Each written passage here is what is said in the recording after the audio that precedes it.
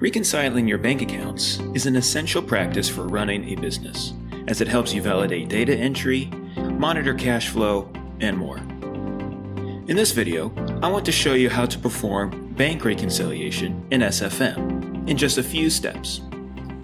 To perform a bank reconciliation in SFM, we highly recommend for you to have the actual bank statement in your hand, just like this one.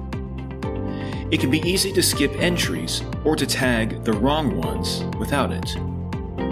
To minimize mistakes and to avoid a situation where the difference does not balance to zero, we are going to simultaneously mark off entries on the statement and in your SFM system. If you have your bank statement in hand, let's get started. To begin, click on the Bank Reconciliation button in the menu. We can then choose the bank account which we want to reconcile. Hit the Tab key on your keyboard to move to the next field, where we can choose the date of the bank statement. Hit the Tab key once more, and then enter the amount that is listed on the bank statement. Note that if you have an overdrawn balance in hand, you can enter a negative amount here. Just add a minus sign before the amount.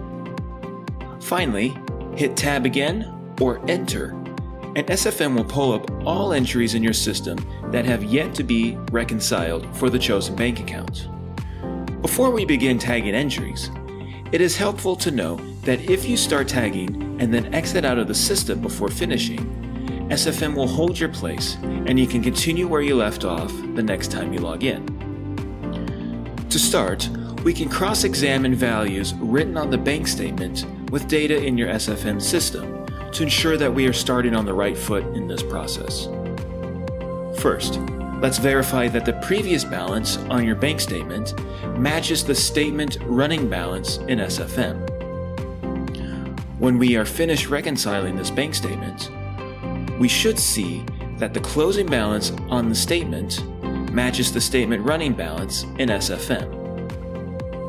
Now we are ready to tag entries for reconciliation.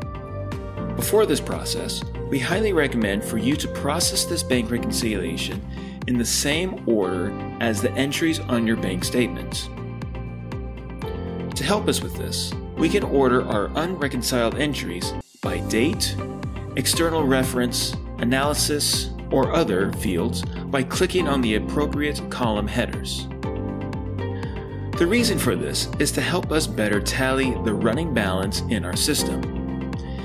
In the end, we should see that our running balance matches our statement. We can reduce reconciliation issues through this practice. Alright, let's get going. Take note of the first entry on your bank statement.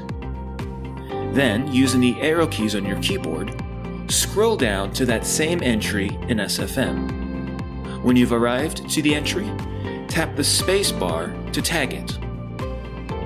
After each and every tagging, check that the running balance in SFM matches the balance values on your bank statement. Remember that you can review the details of the entry by first selecting it and then typing Ctrl D on your keyboard. This is helpful to ensure that the entries match between SFM and the statement. Once we have done that, cross off the entry in your bank statement and move on to the next entry. Do this until all entries from the bank statement are tagged in SFM. While tagging, you may encounter a transaction on your bank statement that is not posted as an entry in your SFM system. If this happens, you can post this missing transaction from the bank reconciliation window. Once we save and post the entry, it is tagged automatically. After checking that the running balances match, we can continue. In the end, you should find that the difference is at zero. Again, we should see that the closing balance is the same as the statement running balance. Now, we can print a reconciliation statement. To do this, click Print and then reconciliation statement. Within the statement, we can see once more that the balances match. Finally, We can now archive the statement. SFM will archive the statement and remove the tagged entries. Your archived bank statements are found in Archive, Nominal, Bank Reconciliation. So this has been the bank reconciliation process in SFM. We hope that this video tutorial was helpful for you. Remember, you can always check out our FAQs and help articles if you need further assistance with this or other tasks in your Shireburn Financial Manager. Thanks for watching, and we will see you in another video.